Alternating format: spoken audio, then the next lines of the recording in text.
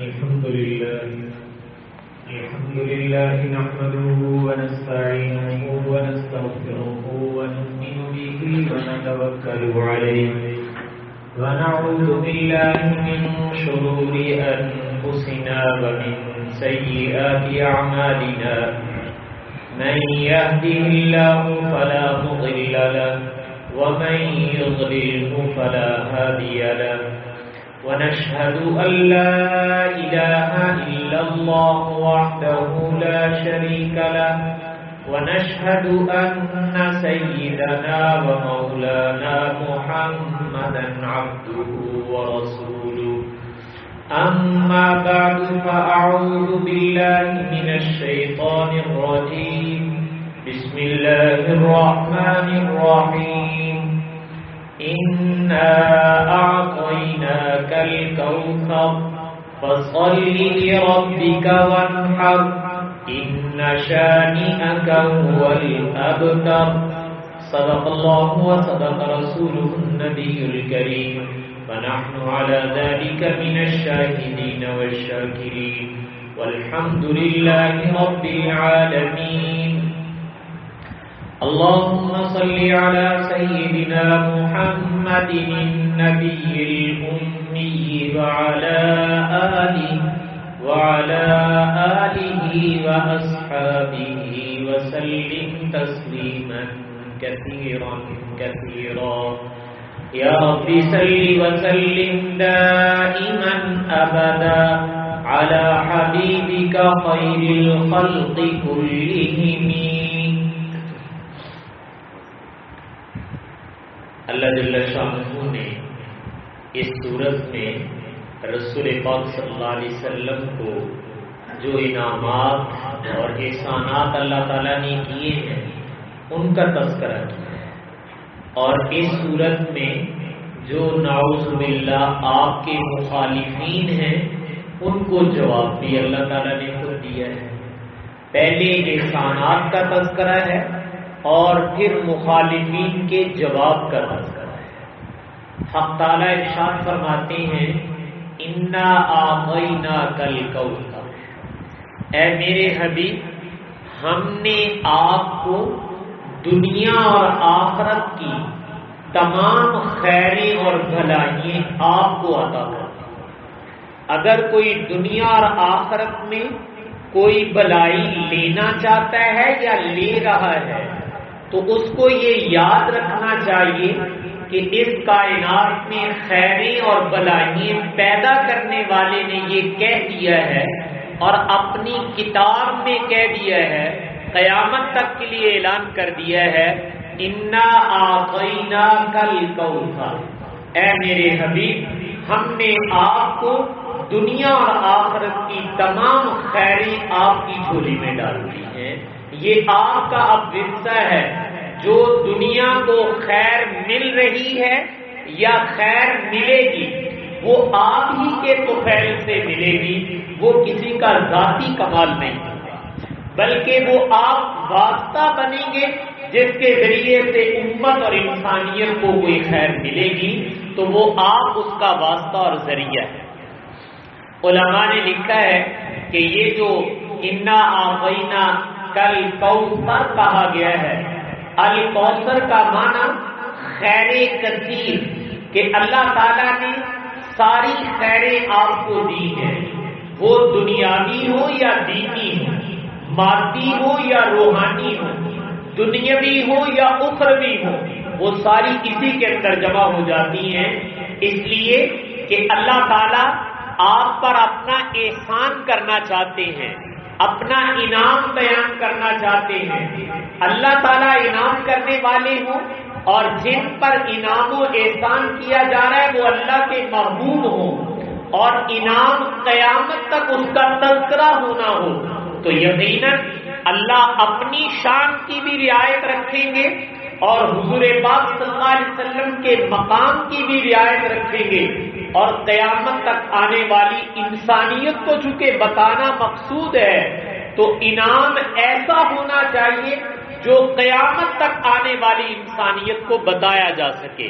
تو میں نے عرض کیا تھا، اس لیے علماء نے اس کا ترجمہ یہ کیا ہے، انا آنا کل کوثر اے میرے حبیب، ہم نے دنیا آخرت کی تمام خیریں اور بلائیں وہ آپ کو عطا کر دی ہیں۔ اب آگے جس کو جو ملے گا، تو وہ میں نے کہا حضور پاک صلی اللہ علیہ وسلم کے توسط سے ملے گا کہ آپ ذریعہ ہیں اس کے آنے کا۔ دیکھو، میں اور آپ دنیا میں آئے ہیں تو والدین ہمارے وجود کا ذریعہ اس کا ہم انکار نہیں کر سکتے۔ پیدا کرنے والی ذات اللہ تعالیٰ کی ہے۔ خالق و مالک اللہ تعالیٰ ہے لیکن والدین کو نظر انداز اگر کوئی آدمی کرے تو وہ دنیا میں آ کے دکھائے۔ والدین کے بغیر کوئی زمین سے تو نہیں اگتا ہے بھائی۔ کہ وہ کہے کہ میں والدین سے جنم نہیں لوں گا، میں زمین سے اگ کر آ جاؤں گا، یہ نہیں ہے۔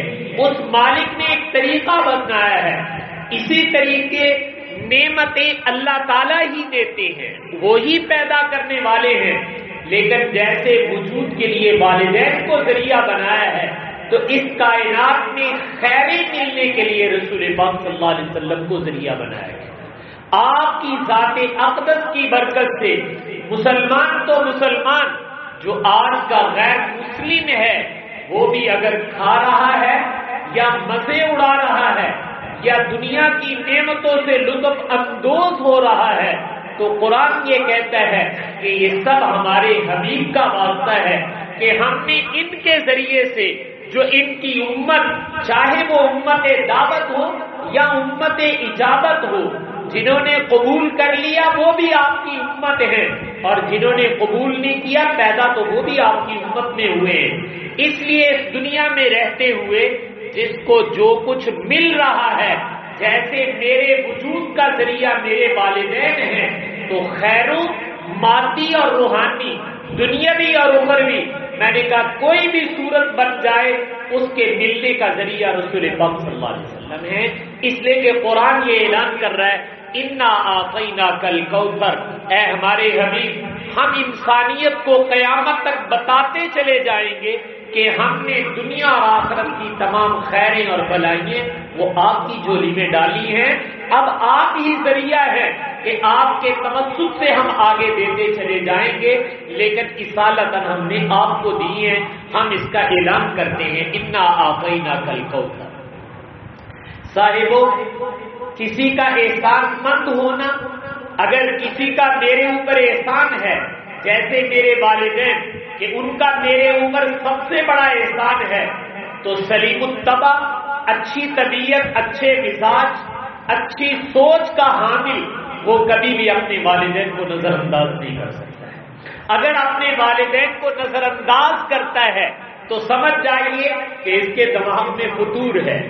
اور یہ سلیم الطبع نہیں ہے، یہ خبیص الفطرت ہے کہ جو اپنے والدین کو نظر انداز کرتا ہے۔ اور خدا نخواستہ اگر والدین کے بارے میں لب کشائی بھی کرتا ہے، تو یقیناً ایک انسان، مسلمان نہیں، ایک انسان کو بھی بتائیں تو وہ یہ کہے گا کہ یہ بڑا بد نصیب بد قسمت خبیص الفطرت انسان ہے کہ جو اپنے والدین کے بارے میں لبکشائی کرتا ہے، چونکہ وہ میرے وجود کا ذریعہ ہے۔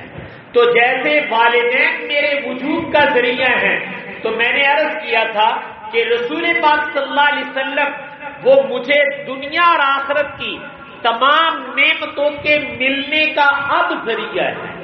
ان کے ذریعے سے اللہ مجھے یہ ساری نعمتیں دے رہے ہیں۔ تو جب وہ ذریعہ ہے مجھے اور آپ کو دنیا اور آخرت کی نعمتیں ملنے کا، اگر خدا نہ خواستہ کوئی ان کی حق شکنی کرتا ہے یا لب کشائی کرتا ہے، تو ہم سمجھتے ہیں اس سے بدبخت بد تینت بد قسمت اور خبیص الفطرت انسان کائنات کے اندر کوئی نہیں ہے کہ جن کی وجہ سے سب کچھ مل رہا تھا، اس نے انہی کے بارے میں زبان کھول دی ہے، تو یہ اس کے شقی، محروم اور میں نے کہا بدقسمت ہونے کی علامت ہے، جیسے کہ قرآن آگے چل کر بیان کرتا ہے۔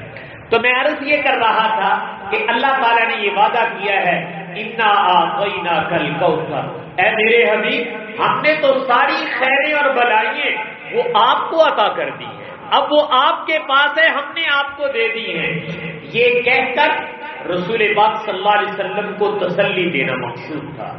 اس لیے کہ مشرقین مکہ وہ آپ کے بارے میں بڑی بد زبانی کر رہے تھے۔ طرح طرح کی باتیں کہہ رہے تھے۔ جس سے آپ کو صدمہ ہوتا تھا۔ تو اللہ تعالیٰ نے صدمے میں تسلی دی ہے کہ میرے حبیب چاہے یہ بد زبانی کرتے ہیں، لیکن اتنا تو وہ بھی سمجھ جائیں کہ تمہیں جو کچھ مل رہا ہے وہ انہی کے صدقے اور تفیل سے مل رہا ہے۔ تو اس لیے اللہ تعالیٰ نے آپ کی اس بلندی مرتبہ کو ذکر کرتے ہوئے، چونکہ یہ قرآن پاک کی چھوٹی صورتوں میں شمار کی جاتی ہے، لیکن اللہ تعالیٰ وہ تو با کمال ذات ہے۔ وہ دو اور تین آیتوں میں بھی میں نے کہا بہت بڑی حقیقت کو چھپا کے رکھ دیتے ہیں۔ تو اللہ تعالیٰ نے پہلی بات یہ کہی اتنا آئی نہ کل کوثر میرے حبیب، ہم نے آپ کو خیر کثیر عطا کیا۔ اسی کوثر کا ایک جز، وہ حوض کوثر بھی، جس کو مسلمان حوض کوثر سے تعبیر کرتے ہیں۔ حدیث میں آتا ہے کہ ایک دن رسول پاک صلی اللہ علیہ وسلم تشریف فرماتے، آپ پہ غدودگی تاری ہلکی سی نیند تاری ہوئی اور آپ اس نیند میں مسکراتے اور ہنستے ہوئے بیدار ہوئے۔ آپ جب بیدار ہوئے تو مسکرا رہے ہیں، ہنس رہے ہیں۔ تو صحابہ اکرام نے پوچھا، یا رسول اللہ، کیا بات ہوئی؟ بیٹھے بیٹھے ذرا نیند کا جھونکا آیا ہے اور آپ نیند میں مسکرانے لگے، ہنسنے لگے ہیں۔ تو آپ صلی اللہ علیہ وسلم نے فرمایا کہ اللہ تعالیٰ نے مجھے جنت کا ایک حوض دکھایا کہ جنت سے ایک نہر آ رہی ہے اور وہ میدان حشر میں ایک حوض ہے، وہ نہر سیدھی اس کے اندر آ کر گر رہی ہے۔ اور پھر آپ نے فرمایا کہ وہ اللہ تعالیٰ نے حوض مجھے عطا فرمایا۔ جس کو تم حوض کوثر کہتے ہو، اور کوثر جنت کی ایک نہر کا نام بھی ہے، جو جنت سے نکل کر میدان حشر میں آئے گی اور اس حوض میں آ کر گرے گی۔ تو آپ نے فرمایا کہ وہاں پانی ہے، اور وہ پانی شہد سے زیادہ میٹھا اور دودھ سے زیادہ سفید اور فرمایا کہ جو اس کو ایک دفعہ پی لے گا، جنت میں جانے تک دوبارہ اس کو پیاس ہی نہیں لگے گی۔ اور پھر آپ نے فرمایا، میں دیکھ رہا تھا کہ اس کے اوپر اللہ تعالیٰ نے پانی پینے کے برتن اتنی زیادہ مقدار کے اندر رکھے جیسے آسمان پر ستارے ہوتے ہیں۔ اتنی زیادہ مقدار کے اندر۔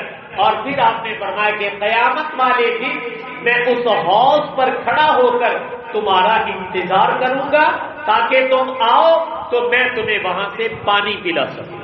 تو رسول پاک صلی اللہ علیہ وسلم کو اللہ تعالیٰ نے یہ حوض کوثر بھی عطا فرمایا ہے اور یقیناً بھائیو، اصل پریشانی کا وقت تو آخرت ہے۔ نتائج کا اصل وقت تو آخرت ہے۔ حقیقتیں کھل کر سامنے آنے کا اصل وقت آخرت ہے۔ دنیا میں حقیقتیں ساری نہیں کھلتی، یاد رکھنا۔ نتائج سارے نہیں سامنے آتے۔ فیصلے دنیا میں نہیں ہے یہ دار العمل ہے۔ یہاں پیپر دیا جا رہا ہے، جہاں پیپر دیا جائے، اسی وقت رزلٹ نہیں آیا کرتا۔ رزلٹ تو بعد میں اناؤنس کیا جاتا ہے۔ یہ دار العمل ہے، دارالامتحان ہے۔ اللہ نے آخرت کو دار الجزا بنایا ہے۔ جزا اور نتیجہ وہاں آئے گا۔ حقیقتیں وہاں کھلیں گی۔ تو حضور یہ فرما رہے ہیں کہ اللہ مجھے وہ حوض کوثر عطا کرے گا اور میں وہاں پر تمہارا منتظر ہوں گا کہ تم آؤ تو میں تمہیں بھر بھر کے حوض کوثر سے پانی پلاؤں گا۔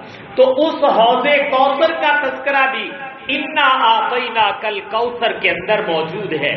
لیکن میں نے کہا، وہ حوض کوثر اس الکوثر کا ایک رکن ہے۔ بگرنا الکوثر کا جو اصل معنی ہے وہ میں نے آپ سے عرض کیا ہے کہ اللہ تعالیٰ کہہ رہے ہم نے دنیا اور آخرت کی تمام خیریں اور بلائیں اے میرے حبیب کو ہم نے آپ کو عطا کر دی ہیں۔ اب آپ کی وجہ سے آگے ملے گی جن کو ملے گی، مانے یا نہ مانے، یہ اس کا اپنا فیصلہ ہے۔ لیکن یہ اس کو ماننا پڑے گا کہ دینے والا یہ کہہ رہا ہے کہ ہم نے یہ سب کچھ اپنے حبیب کو عطا کر دیا تھا۔ تو اللہ تعالیٰ نے پہلا احسان تو یہ ذکر کیا، انا آفینا کل کوثر اے میرے حبیب، ہم نے آپ کو خیر کثیر، دنیا آخرت کی تمام بلائیں وہ آپ کو عطا کرنی ہے۔ اگر کسی نے لینی ہو تو وہ آپ ہی اس کا ذریعہ ہے۔ آپ کا انکار نہیں کیا جا سکتا۔ یہ اللہ تعالیٰ نے احسان کیا ہے اور قیامت تک کے لیے کیا ہے۔ اپنی شایان شان کیا ہے۔ اور رسول پاک صلی اللہ علیہ وسلم کے مقام کو بھی سامنے رکھ کے یہ کہا ہے آپ کل کوثر کہ ہم نے تمام خیریں اور بلائیے وہ آپ کی جھولی میں ڈال دیا یہ اللہ تعالیٰ کا احسان ہے۔ اس کے بعد اللہ تعالیٰ کہتے ہیں کہ جب اللہ کوئی انعام اور احسان کرے تو اس کا شکریہ بھی تو ادا کرنا چاہیے۔ تو آپ کو بتا کر آپ کی امت کو کہنا مقصود ہے۔ فصل لے ربی کا بن میرے حبیب، اب آپ نماز کا بہت اہتمام کریں۔ اپنے اللہ کے سامنے نماز میں کھڑے ہو جائیں۔ وقت اور قربانی کا بھی اہتمام کریں۔ اپنے اللہ کے نام پر اپنا مال بھی لوٹائیں اور تقسیم کریں، تو میں نے کہا کہ یہ دو حکم دیے گئے ہیں، نماز کا اور قربانی کا، یہ اسی نعمت کا شکرانہ ہے۔ رسول پاک صلی اللہ علیہ وسلم کے قربان جائیں، آپ نے نماز کا اتنا اہتمام کیا اور آپ کو نماز کا اتنا شوق ہوتا تھا کہ اس شوق کو آپ نے اپنے ان لفظوں میں بیان کر دیا۔ جو علم کہ میرے سے کیا پوچھتے ہو کہ نماز کا مجھے کتنا شغف ہے؟ نماز کا مجھے کتنا شوق ہے؟ فرمایا، اللہ نے میری آنکھوں کی ٹھنڈک نماز میں رکھی میری آنکھیں نماز سے ٹھنڈی ہوتی ہیں۔ جو قرۃ عینی کی صلاح میری آنکھوں کی ٹھنڈک ہی اللہ نے نماز میں رکھ دی ہے۔ تو آپ صلی اللہ علیہ وسلم نے فصلی رب اپنے رب کے لیے نماز کیا پڑھی، جس کو میں کہتا ہوں کہ آنکھوں کی ٹھنڈک بنا کر پڑھی ہے، تو امت سے بھی یہ مطالبہ ہے کہ امت کے لوگوں، نماز کو سر سے ٹلاؤ نہیں، نماز کو اپنے دل کا سکون اور آنکھوں کی ٹھنڈک بناؤ، تاکہ نبی کی پیروی ہو سکے۔ اور دوسرا حکم دیا بت ہر قربانی کرو۔ اپنا مال اللہ کے نام پہ تقسیم کرو۔ چاہے جانور کی قربانی کی صورت میں ہو یا ویسے ہو، تو یہ اللہ تعالیٰ نے شکریہ ادا کرنے کا طریقہ بتلایا ہے کہ اگر اللہ کا کوئی انعام ہو، تو انعام کا شکریہ عبادات کی صورت میں ہوتا ہے۔ سرور کونین صلی اللہ علیہ وسلم، یہ اللہ تعالیٰ کا سب سے بڑا انعام ہے میرے اور آپ کے اوپر۔ میں نے گزشتہ جمعے بھی عرض کیا تھا کہ اللہ نے اپنے اس احسان کا تذکرہ کیا ہے۔ لقت من اللہ اسبا صفیم رسولہ اللہ کہتے ہیں اللہ نے بہت بڑا احسان کیا کہ تمہارے اندر اپنے رسول صلی اللہ علیہ وسلم کو بھیج دیا۔ تو میرا اور آپ کا بھی فرض بنتا ہے کہ جس اللہ نے اپنا حبیب مجھے اور آپ کو عطا کر دیا ہے، ہم اس مالک کا شکریہ تو ادا کریں۔ اور شکریہ ادا کرنے کا طریقہ یہی ہے کہ عبادات کی کثرت اور بالخصوص نماز کا اہتمام جس قدر میں اور آپ کر سکتے ہیں، شکرانے اور محبت کے طور پر مجھے اور آپ کو اس کا اہتمام کرنا چاہیے۔ یہ اللہ تعالیٰ نے شکریہ ادا کرنے کا طریقہ بھی بدلایا تیسری بات، جس کے لیے یہ صورت نازل کی گئی تھی چونکہ رسول پاک صلی اللہ علیہ وسلم کے بارے میں مشرقین مکہ نے مختلف جملے کہے تھے۔ آصف نے وائل، جو ان کا سردار تھا، اس نے ناؤز باللہ آپ کے بارے میں لب کشائی کرتے ہوئے کہا تھا، آپ کے بیٹے سیدنا قاسم یا سیدنا ابراہیم کی وفات پر کہ گھبراؤ نہیں، یہ ناؤز باللہ من ذالک، نقل کفر کفر نہ باشد کہ آپ ابتر ہیں۔ ابتر کا معنی ہوتا ہے جس کی نسل ختم ہو جائے۔ ہمارے دور میں آپ دیکھتے ہیں یہ گائے بہن، اس کی دم پانچ دفعہ کاٹ دی جاتی ہے۔ اگر دم کاٹ دی جائے، اس کو بھی عربی میں ابتر کہتے ہیں۔ اصل ابتر کہتے ہیں کہ جس کا بعد میں کوئی نام لیوا نہ ہو جس کا ذکر خیر دنیا سے ختم کر دیا جائے۔ اس نے یہ جملہ آپ کے بارے میں کہا، تو اللہ تعالیٰ نے براہ راست جواب دیا۔ کسی سے نہیں دلوایا۔ میں اور آپ قرآن پاک پڑھتے ہیں، ذرا اس آیت کو اپنی زبان سے پڑھے ان شادیاں کا ابتر یہ جملہ میرے اللہ نے کہا ہے، حضور سے نہیں کہلوایا صحابہ سے نہیں کہا کہ جواب دو۔ اللہ تعالیٰ کہتے، اگر کوئی میرے نبی کے بارے میں دشنام ترازی کرے گا، تو اس کا جواب میں خود دوں گا۔ تو اللہ تعالیٰ نے خود جواب دیتے ہوئے کہا ہے ان شانیہ کا ابتر میرے حبیب میں یقین کے ساتھ بتا رہا ہوں، جو آپ کا دشمن ہے، آپ کے بارے میں زبان درازی کرتا ہے، آپ کی شان میں کوئی ہٹک آمیز جملہ بولتا ہے۔ آپ چپ رہے آپ کا اللہ جواب دے رہا ہے۔ آپ کا دشمن اب تر ہے۔ دنیا کا بدترین انسان ہے۔ دنیا کا شقی القسمت انسان ہے۔ ہم اس کا نام و نشان دنیا سے مٹا کے رکھیں اس کو دنیا سے ختم کر دیا جائے گا۔ شانیہ کا، جو آپ کے بارے میں کوئی بدتمیزی کرے گا، آپ سے دشمنی لے گا۔ تو اللہ تعالیٰ نے جیسے ان شانیہ کا حول ابتر یہ مکے کے لوگوں کو کہا تھا، جنہوں نے بدتمیزی کی تھی، یہ آیت صرف مکے والوں کے لیے نہیں نازل ہوئی۔ یہ آیت آج بھی زندہ اور جاوید ہے۔ اور یہ آیت قیامت تک باقی رہے گی۔ مسلمان اس صورت کو پڑھیں گے، لیکن بھائیوں پڑھتے وقت ذرا دماغ میں تو آنا چاہیے کہ اللہ تعالیٰ کیا کہہ رہے ہیں۔ پہلے اتنا آفرینا کل کوثر حضور کے احسانات آ رہے تھے۔ وسلی ربی کا ون شکریہ ادا کرنے کا طریقہ آ رہا تھا۔ اب اللہ تعالیٰ کہہ رہے کہ جو آپ سے دشمنی لے رہا ہے آپ کے بارے میں کوئی لب کشائی کرتا ہے تو ہم اس کے بارے میں خود کہتے ہیں۔ تو جب اللہ یہ کہتے ہیں ان شانیہ کا حول ابتر تو میرا اور آپ کا فرض تو زیادہ بنتا ہے کہ ہم بھی اپنی زبان سے۔ یاد رکھیے گا، رسول پاک صلی اللہ علیہ وسلم پر ایمان کے دو تقاضے۔ آپ صلی اللہ علیہ وسلم پر ایمان کے دو تقاضے ہیں۔ ایک تقاضا ہے محبت اور ایک تقاضا ہے بغض اور عداوت۔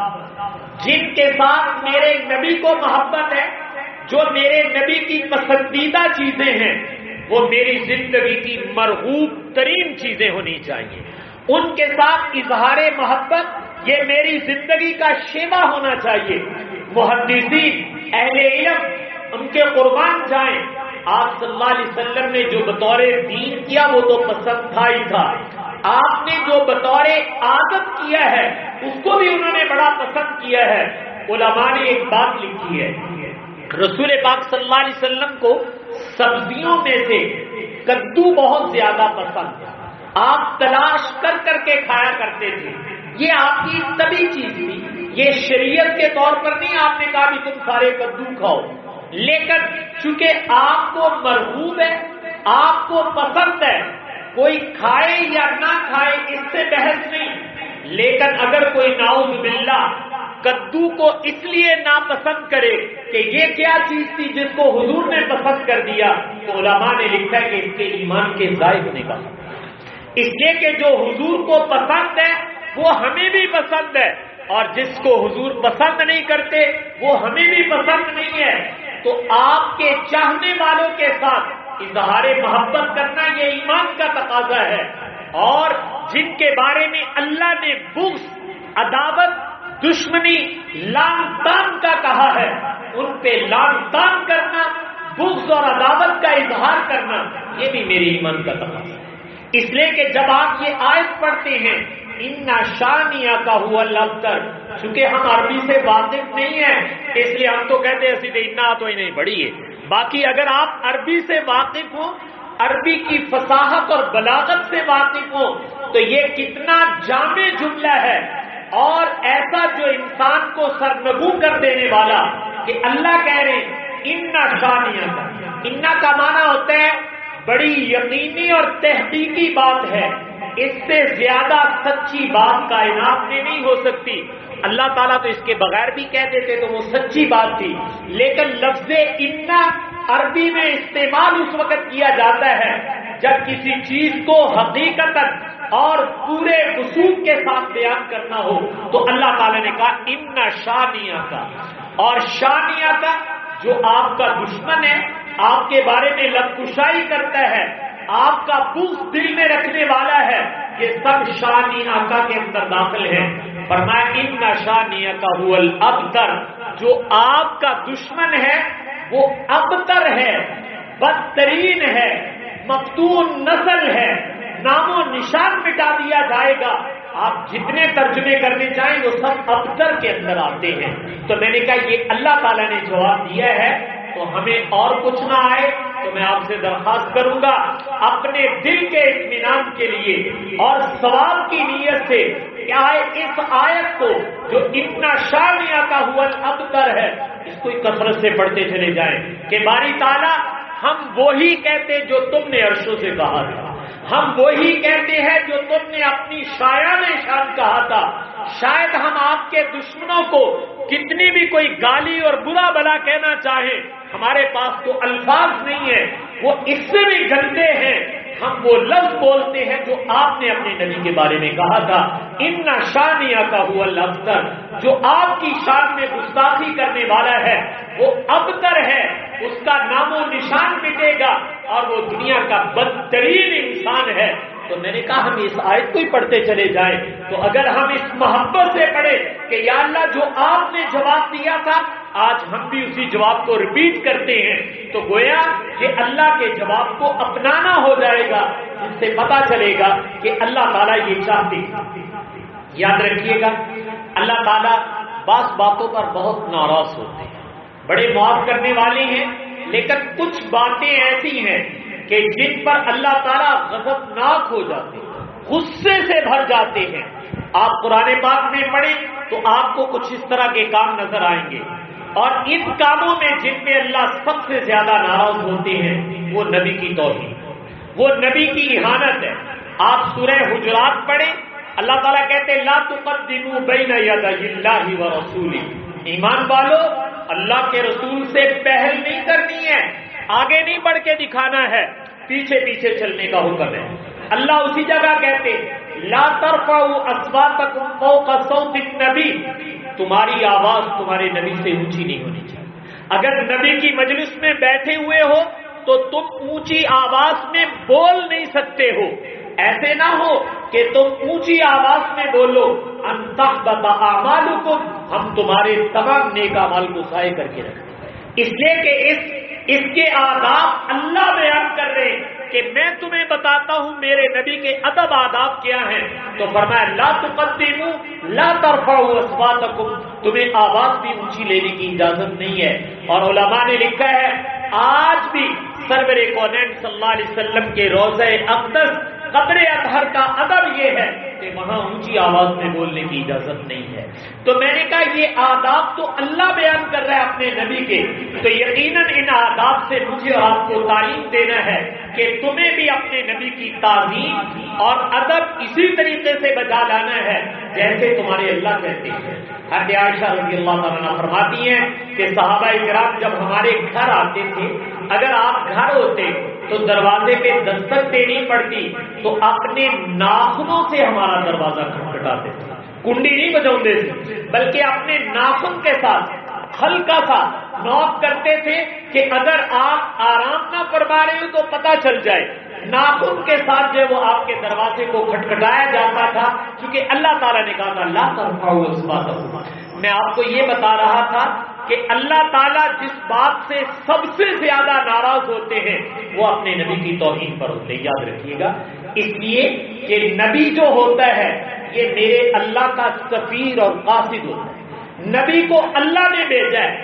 آپ کے ملک کا سفیر، وہ کسی ملک میں چلا جائے اور وہ ملک والے آپ کے سفیر کی توہین کریں، تو آپ اس کو سفیر کی توہین نہیں سمجھتے، بلکہ پوری اسٹیٹ اور پورے ملک کی توہین سمجھی جاتی ہے۔ اس لیے کہ سفیر تو ملک نے بھیجا تھا۔ تو نبی اپنی مرضی سے نہیں آتے ہیں یہ اللہ تعالیٰ بھیجتے ہیں چن کر۔ تو جب کوئی نبی کی توہین کرتا ہے، میں اگر کہوں تو بیچا نہیں۔ وہ ایک نبی کی توہین نہیں کرتا، وہ پوری کائنات کی توہین کرتا ہے۔ چونکہ پوری کائنات کے پیدا کرنے والے اللہ ہیں، تو جب اللہ کی توہین کی، تو یہ پوری کائنات کی توہین ہے۔ اور کائنات کی توہین کرنے والا اس لائق نہیں ہے کہ اس کو دنیا میں زندہ رہنے کا حق دیا جائے۔ تو اس لیے میں نے عرض کیا ہے کہ آپ صلی اللہ علیہ وسلم کے ساتھ اظہار محبت یہ میرے ایمان کا تقاضا ہے۔ اور قرآن کا تقاضا ہے۔ اس لیے بھائیوں اس وقت دیانت آپ سے عرض کر رہا ہوں، پوری دنیا میں جو حالات بنائے جا رہے ہیں، وہ میرے اور آپ کے ایمان کو جھنجھوڑنے کے لیے۔ بلکہ چیک کرنے کے لیے کہ یہ سو گئے ہیں، ان کا ایمان ختم ہو گیا ہے، یہ مادہ پرست بن گئے ہیں، کیا یہ دو اور دو چار تکوں کے اوپر اپنا ایمان لوٹانے والے ہیں؟ یہ چیک کیا جا رہا ہے۔ اس لیے اللہ کے لیے اپنے ایمان کا ثبوت تو اور یہ بتاؤ کہ ہم کتنے گندے سے ہی لیکن اس بات پر کبھی کمپرومائز زندگی میں نہیں کر سکیں گے کہ کوئی ہمارے نبی کے بارے میں لب کشائی کرے اور ہم آنکھیں بند کر لیں۔ کوئی لب کشائی کرے اور ہم کان بند کر لیں۔ میں نے کہا یہ نہیں ہو سکتا ہے۔ جہاں تک ہمارے سے پہنچا جائے گا، میں نے کہا اپنی اپنی بسات کے مطابق یہ میرے اوپر فرض اور قرض ہے۔ دونوں باتیں ہیں۔ کہ میں اپنے نبی کی قسمت کی خاطر جان کیا کچھ اور بھی ہوتا تو ان کے قدموں پر اس کو نچھاور کر دوں۔ یہ میرا اور آپ کا فرض بنتا ہے۔ اس لیے ایک درخواست تو میں یہ کروں گا کہ آج باقی سارے جھگڑوں کو بھلا کر، تمام بحثوں کو ختم کر کے، سیاسی، معاشی، سب کو نظر انداز کر کے میرا اور آپ کا موضوع سخن جو ہونا چاہیے۔ وہ رسول پاک صلی اللہ علیہ وسلم کی قسمت تقدس عظمت ادب۔ یہ میں نے کہا آج کل ہمارا موضوع سخن ہونا چاہیے۔ میں نے کہا اپنے ماحول میں، اپنے آفس میں، اپنے گھروں میں اس کا تذکرہ اتنا کرو کہ ہمارے بچے بچے کو پتا چل جائے کہ صاحب، اگر کوئی ہمارے نبی کی توہین کرے گا تو ہمیں جان بھی قربان کرنی پڑی۔ تو ہم اپنی جان، مال، ہر چیز قربان کر کے اس کا جواب دیں۔ اور یقیناً فرانس کی مصنوعات ان کا سوشل بائیکاٹ اور ان کی خریداری کو بند کرنا۔ شاید ایک دوست پوچھ رہے تھے، حضرت، اس کی کیا حیثیت ہے؟ تو میں نے کہا، بھائی، اگر غیرت نام کی کوئی چیز جانتے ہو کہ غیرت بھی کوئی چیز ہوتی ہے، اگر ادھر کوئی غیرت نام کی چیز ہے، تو یہ کیسے ہو سکتا ہے کہ مجھے یہ پتا چلے کہ یہ ان لوگوں نے بنائی ہے جو میرے نبی کے خاکے شائع کر رہے ہیں۔ میرے نبی کے بارے میں بری بری باتیں کہہ رہے ہیں۔ آویزہ کر رہے ہیں اور میں انہی سے خرید کر ان کو بینیفٹ دے کر استعمال کروں۔ میں بھوکا تو مر سکتا ہوں، لیکن اپنی غیرت کی نیلامی نہیں کر سکتا۔ اگر انسان اور مسلمان ہے تو میں نے کہا بھوکا مرنا تو گوارا ہو سکتا ہے، لیکن اپنی عزت کو بیچنا، غیرت کو بیچنا، یہ گوارا نہیں ہوتا، یاد رکھنا۔ تو اس لیے میری اور آپ کی ایمانی غیرت قومی نہیں کہہ رہا، ایمانی غیرت کا تقاضا ہے۔ بالکل بائیکاٹ ہونا چاہیے۔ جب تک وہ ناک سے لکیریں نہیں نکالے اور برملا معذرت نہیں کرے، میں نے کہا ایسے کاروباری معاملات کو وائلڈ اپ کر دینا چاہیے۔ اللہ تعالیٰ آپ کے لیے رزق کے اور دروازے کھولے گا۔ میں نے تو آپ کو شروع میں کہا ہے، انا سینا کل ارے اللہ تو یہ کہہ رہے، میں نے ساری دنیا اور آخرت تمہارے نبی کی جھولی میں ڈالی ہے۔ اور تم پھر للچائی ہوئی نظروں سے ان ملکوں کو دیکھو کہ اگر ہم نے بائیکاٹ کر دیا تو ہمارا کاروبار کیسے چلے گا۔ تم اپنے نبی کے نام پہ کر کے دیکھو، اللہ تعالیٰ تمہارے سے بڑے غیرت مند ہیں۔ اس کے نام پہ کوئی کرے، اللہ اس کا نیم البدل تمہیں ضرور ضرورت آ لیکن میں نے کہا، ہمیں نہ بھی ملتا۔ تو میرے ایمان کا تقاضا ہے کہ ایسے لوگوں کے ساتھ بائیکاٹ ہونا چاہیے۔ تو میں نے عرض یہ کیا کہ آج کل باقی موضوع بند کر کے اس موضوع کو اتنا بولو، آپ کی محبت اور اطاعت کو اتنا بولو، ان واقعات کو، بچوں کو اتنا سناؤ کہ انہوں نے سوچا تھا کہ چیک کریں ان کا ایمان کہاں ہے، تو ان کو جواب جانا چاہیے کہ ہمارے چیک کرنے سے ان کے ایمان کا پارا آسمان کو چھونے لگا۔ اور انشاءاللہ یہ تاقیام قیامت ہم مسلمانوں کی نسل میں اس کو باقی رکھنا چاہیں گے اور میں نے کہا اس کی کاوش کریں گے، اس لیے کہ ہمارا تو سرمایہ کا یہ ہے۔ ہمارے سرمایہ میں کوئی ڈاکو پڑے اور ہم آرام سے سو جائیں، ایسا نہیں ہو سکتا ہے۔ میرے اور آپ کے ایمان کے یہ ڈاکو، یہ ہمارا ایمان چھیننا چاہتے ہیں۔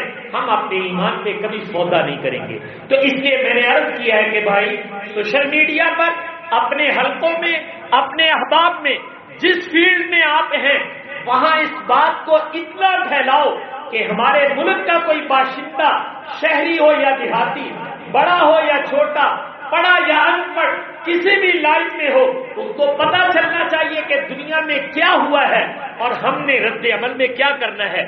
اس سے بڑا سانحہ، اس سے بڑا پوچھال وہ اس روئے زمین پہ نہیں آ سکتا ہے جو اس وقت ان بدبختوں نے کیا ہے اور باضابطہ طریقے سے کیا ہے۔ لوگ پھر ہمیں کہتے ہیں کہ صاحب مولانا آپ اتنے جذباتی کیوں ہو جاتے ہیں؟ سوال یہ ہے کہ اگر ایک آدمی نے آپ کا آدمی مارا ہے، آپ اس کو سزا دے سکتے ہیں۔ لیکن یہ جو آپ بے حدہ حرکت کرتے ہیں کہ رسول پاک صلی اللہ علیہ وسلم کے اوپر ڈائریکٹ آپ حملہ کرتے ہیں، کیا آپ کو یہ احساس نہیں ہوتا ہے؟ میں کسی سے لڑا ہوں، وہ میرا سر پھاڑ دے، کوئی مسئلہ نہیں ہے۔ لیکن وہ مجھے چھوڑ کر میرے باپ میرے دادا کو جا کر ہاتھ ڈالے تو یقیناً میری غیرت جو ہے وہ جوش میں آ جائے گی کہ تم کون ہوتے ہو؟ تو بھائی اگر تمہیں ہمیں سے شکوا ہے، ہمارے بارے میں کچھ کہو۔ جو لکھنا ہے لکھو، ہمارے خاکے بنا کر شائع کرو۔ لیکن جب تم حضور پہ ہاتھ ڈالتے ہو، ہم تمہارے اس باطنی خباست کو پہچان جاتے ہیں، جو ہمارے قرآن نے بہت پہلے کہہ دیا تھا۔ وما تخفی صدورهم اکبر ایمان والو کسی دھوکے میں نہ پڑنا۔ یہ لوگ تمہارے بارے میں دلوں میں بغض رکھتے ہیں اور یہ بغض ان کی زبانوں سے ظاہر ہوتا ہے۔ اور جو ان کے دلوں میں تمہارے بارے میں بغض ہے، اللہ کہتے ہیں جو ان کے دلوں میں چھپا ہوا ہے، وہ زبان سے بھی بڑا۔ اس لیے وہ تمہارے خیر خواہ نہیں ہے بھائی۔ ان کے پالیسی میکر اور ان کی پالیسی بنانے والے، میں نے کہا کہ وہ ایسی پالیسی بناتے ہیں جس سے امت مسلمہ کو زج کیا جائے۔ امت مسلمہ کو پست کیا جائے اور ان کے ایمان کو ان سے کھینچا جائے۔ میں نے کہا وہ اس طرح کی پالیسی بناتے ہیں۔ میں اور آپ کیا کچھ اپنے ملک میں کرتے ہیں؟ کتنی غلطیاں کرتے ہیں؟ کبھی مغرب کو دیکھا ہے کہ انہوں نے ہماری غلط پالیسیوں کے کوئی خاکے بنائے ہوں کہ جناب مسلمان ملاوٹ کرتے، مسلمان یہ کرتے، مسلمان بلا کرتے ہیں۔ یہ وہ ایشو تھے جن کو وہ کر سکتے تھے۔ ان ایشوز پر تو وہ کبھی بھی بات نہیں کرتے ہیں آپ کے بارے میں۔ اٹھتے ہیں تو یا قرآن پہ حملہ یا نبی میں حملہ کرتے ہیں، اس سے پتا چلتا ہے، ان کو ہماری معاشیات سے کوئی سروکار نہیں یاد رکھنا، تمہارے کاروبار سے کوئی سروکار نہیں ہے۔ ان کو اگر تمہارے ساتھ کوئی ضد ہے، کوئی اناد ہے، تو وہ تمہارے ایمان کے ساتھ ہے۔ اس لیے جو دولتیں ایمان والی ہیں، وہ سیدھے ہاتھ ان پہ ڈالتے ہیں۔ اس لیے بھائیوں بیداری کا ثبوت دو، میں پھر آپ سے درخواست کروں گا، اپنے اپنے حلقہ احباب میں اس آواز کو اتنا بلند کرو کہ یہ احساس پیدا ہونے لگے کہ ہمارے سے بہت بڑی کتائی ہوئی ہے اور ہم انشاءاللہ ان کا دنیا میں جواب دیں گے۔ ان کو پتا چلے گا کہ کسی نبی کے اوپر ہاتھ ڈالنا یہ کتنا بڑا گھنونا جرم ہے جو تم نے کیا ہے۔ صرف ہم ساتھ کا تاریخ نہیں سنانا چاہتے میں برخورداروں آپ سے کہنا چاہتا ہوں، ہم بھی ایک تاریخ رقم کرنا چاہتے ہیں۔ یہ کہنا کہ صاحب ہمارے آبا نے یہ کیا تھا یہ کافی نہیں ہے۔ یہ بتاؤ کہ ہم بھی کچھ کرنا جانتے ہیں اور دنیا میں کر کے جائیں گے۔ اس لیے کہ یہ میرے ایمان کا تقاضا ہے۔ اللہ نے مجھے پیدا ہی اس لیے کیا۔ تو اس لیے اب تاریخ دنیا میں رقم کرنے کا وقت ہے تاکہ دنیا کو پتا چلے کہ امت مسلمان بیدار ہے اور وہ اپنے نبی اور اپنے دین پر کبھی بھی کمپرومائز نہیں کرے گی۔ تو اس لیے اس موقع کو انہوں نے چھیڑ خانی کر دی ہے۔ اب ہمیں جواب دینا ہے۔ میں نے ایک کہا ہے، فصل ربی کا ون ہر ان شانیہ کا ہوا لبتر اس کو سے زبان بناؤ اور جہاں تمہاری مجالس ہو، وہاں اس کا تذکرہ کرو کہ حضور کے بارے میں لب کشائی کرنے کا کون ان کو حق دیتا ہے۔ اس لیے اگر میں یہ کہوں تو بیچا نہیں ہے۔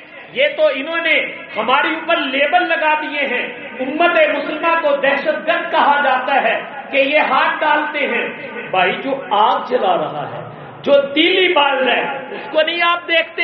آخر یہ جملے کہہ کر اور یہ حرکتیں کر کے امت مسلمہ کے جذبات کو مجرو نہیں کیا جا رہا۔ پہلے کسی کے جذبات کو آپ مجرو کریں اور جب وہ جواب دینے لگے تو پھر آپ کہیں، جناب یہ تو دہشت گرد بن گئے، یہ ہاتھ اٹھاتے ہیں۔ تو آپ کو کون کہتا ہے کہ آپ اس طرح کی حرکتیں کریں کہ جس سے سب سے زیادہ صدمہ امت مسلمہ کو ہوتا ہو؟ تو آپ ہمیں صدمہ بھی پہنچائیں۔ ہمیں ٹیکا بھی لگائیں اور کہ سیڑھی کرنا بھائی۔ ایسا ہم سوئچ بولنے لگے ہیں پر سیڑھی کرنا۔ تو میں نے کہا تھا ہم اتنے بے غیرت نہیں ہیں کہ تم ہمارے گلے پہ چھری چلا دو اور کہو گے سی نہ کرو۔ نہیں نہیں، جو ہمارے سے ہو سکے گا، ہم آخری حد تک پہنچیں گے۔ اس لیے میں نے عرض کیا تھا، یہ فرض میرا اور آپ کا بھی ہے، ہمارے حکام کا بھی ہے۔ ہر کسی کا ہے، جہاں تک آپ کی آواز پہنچتی ہے، آپ اپنے نمائندگان ان سے بھی کہیں کہ بھائی، باقی سب کچھ معاف ہو سکتا ہے، لیکن نبی نے اگر سودے بازی کی تو یہ معافی نہیں، اس پہ بڑے جھوٹے پڑیں گے، یاد رکھنا۔ اس لیے حکام بالا اور جہاں تک میری اور آپ کی آواز پہنچے اکثر انداز میں وہ مجھے اور آپ کو پہنچانی ہے اور اس کو اپنا فرض سمجھنا ہے۔ اور بارہ ربیع الاول کا آج اصل حق یہی ہے بھائیو، میں دیا رتن آپ سے کہتا ہوں کہ اگر ہم بارہ ربیع الاول کا حق ادا کرنا چاہتے ہیں، تو پوری دنیا میں پاکستان سے ایسی آواز جانی چاہیے کہ پتا چلے کہ اس ملک کے باشندے شاید سب سے زیادہ صدمہ زدہ ہے لیکن اس کا کوئی طریقہ کار لاہ عمل بنانا چاہیے۔ تو میں نے کہا، اپنی اپنی سطح پر بہترین لاہ عمل بنا کر آپ رد عمل اور جواب دیں تاکہ حضور کی شفاعت کے میں اور آپ قیامت والے دن مستحق ہو سکے اللہ تعالیٰ سے دعا ہے کہ اللہ مجھے اور آپ کو عمل کرنے کی توفیق عطا